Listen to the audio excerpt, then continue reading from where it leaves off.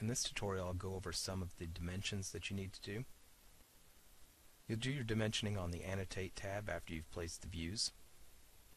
Now the typical ty type that we've done before is just use the dimension tool here and then to click one side come over and click the other and place that dimension. If you don't want this to keep popping up you can turn it off by deselecting the edit dimension when created and click OK. Another way to do this, however, is to use the baseline. And with the baseline, what I do is I click my starting point, and then I come over and click the next line that I want, and then I can go to the next line after that. When I'm done, right click and click continue, and then pull it up, and you can do multiple dimensions at the same time instead of having to go back and start over each time.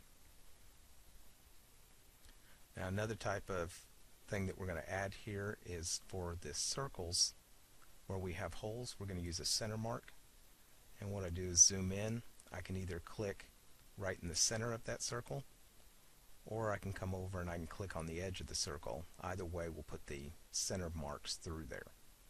We also want to do that on uh, at least a semicircle or more. So I would place one here, and I would do one for this one as well.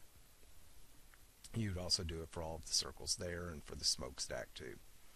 Okay, the way that that's used is to dimension distances. So I would come in and dimension that from the edge here to that center point and so I could do it one at a time like this to the center mark and pull it down or I could have come in and used the baseline again and said that uh, from the back here to this center mark and then to the center mark here right click continue and drag those down to place them.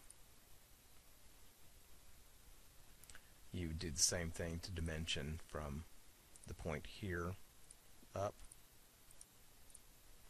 and we should have kept the previous dimensions but they went away. Another item that we need is the centerline bisector. We're going to use that anywhere that we've got a hole going through. So here I have the hole that goes through for the axle. I'm going to click one side, go click the other side. Okay, occasionally if I click in the wrong spot it kind of does something weird. So I'm going to undo it. Try it again and stay off of this line here to make sure that I'm getting the two lines there so that it centers up. Also want to do that anywhere that I've got a hole going part way through. So the two sides there for the hole here. Same thing there. I would do it as well going this direction and places like this in the top.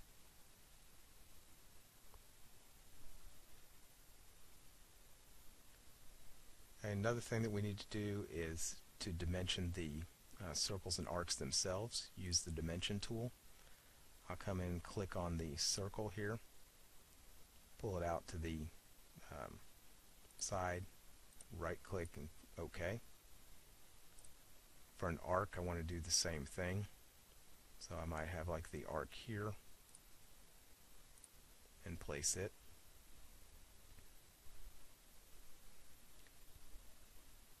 And then we also need to work on angles. So we'll go to the Annotate tab again and I'll click on a line. I want to avoid the green dot. If I hit a green dot, what's going to happen is it's going to dimension the distance there, and I want the angle. So zoom in enough that you can avoid those. Click one side, click the other side, then you can pull it out and place an angle. Same thing between here and there to get those values. So you're going to want to go through the document that had all the measurements on it to create the initial train and every measurement that's on there should be somewhere on these documents.